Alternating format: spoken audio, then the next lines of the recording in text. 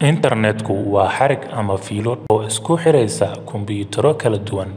Tusaale, kombiyuutar wuxuu yaalaa waddanka Turkiga, kombiyuutar kalena wuxuu yaalaa Soomaaliya.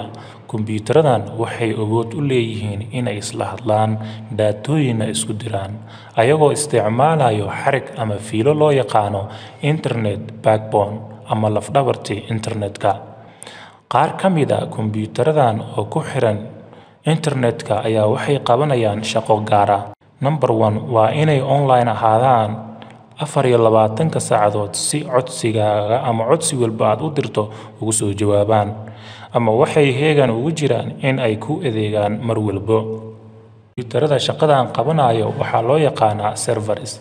Markaad doonayso inaad gashid website, kombiyuutarka kuu fududeynaya shaqadan waxaa lagu magacaabaa server. Kombiyuutarka midka hadda aad isticmaalaysid si aad ugu daawato fiidiyowgan ama midka aan isticmaalayo hadda waxaa loo yaqaannaa client.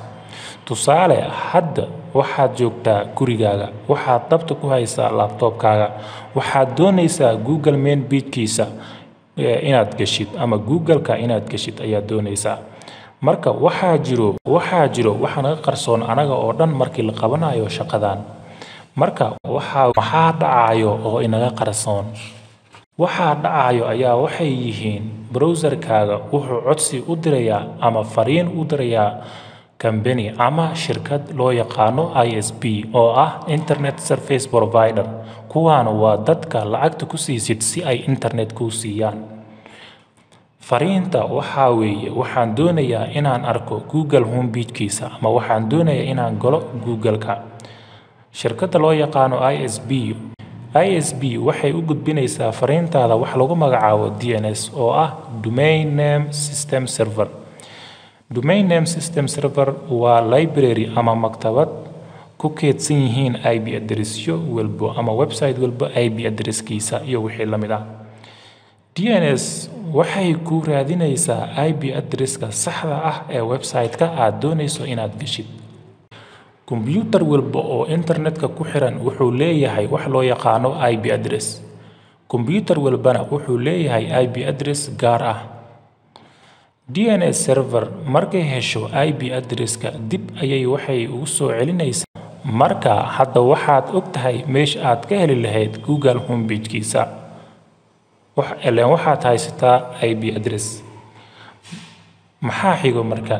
Waxaad si toos ah ugu soo diraysaa codsigaaga ama waxaad si toos ah codsigaaga ugu diraysaa adigoo isticmaalaya IP address-ka aad heshay adigoo u maraya ISP.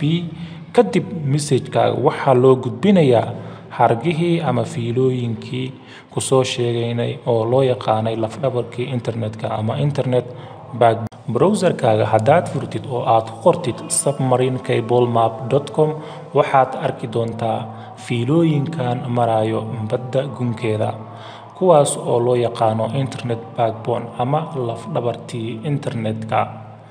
Haddaad joogtid meel walba oo dunidan ka mid ah aad doonayso inaad aragtid website, browser-kaaga wuxuu codsiga ku gudbinayaa ama soo marinayaa cable-iskan ama fiilooyinkan oo maraya badda gunteeda oo loo yaqaan Internet Backbone-iska.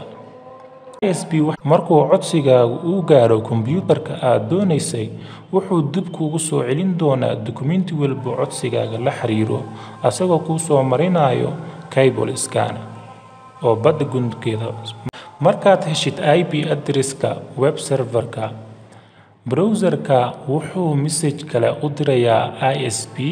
ISP waxay u sii gudbinaysaa cable-iskii loo yaqaan Internet Backbone, waxay u sii gudbinayaan server-ka iska leh IP address-kan. Ileen IP address ayaad haysataa, markaas waxay u sii gudbinayaan server-ka iska leh IP address-ka aad isticmaashay. Kombiyuutarka ama server-ka iska leh IP address-kan dabcan waa Google server. Kadib, server-ka wuxuu dib kuugu soo dirayaa file-iska aad doonaysay, asagoo kuu soo marinaya Internet Backbone ama fiilooyinkii badda hoosteeda marayeen. Kadib waxaad arki doontaa Google homepage-kiisa. Shaqadan oo dhan waxaa lagu qabanayaa wax ka yar ilbiriqsiyo.